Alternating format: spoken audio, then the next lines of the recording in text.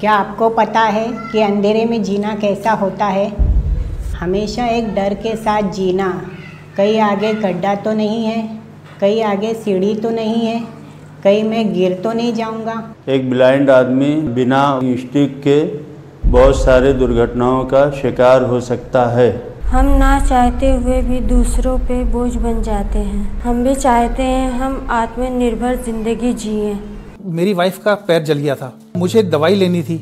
ना किसी सारे के घर से निकला। टिक के सहारे ही हम आत्मनिर्भर हो के आगे कदम बढ़ा सकते हैं। स्टिक की हमारी आँखें होती है। हमारे ज़िंदगी में वॉकिंग स्टिक का बहुत ज़्यादा महत्व है।